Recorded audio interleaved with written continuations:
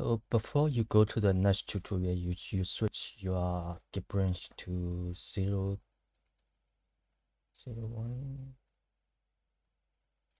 that's 0 2, okay, see that one, 0 2, Google Chart PHP. Thank you.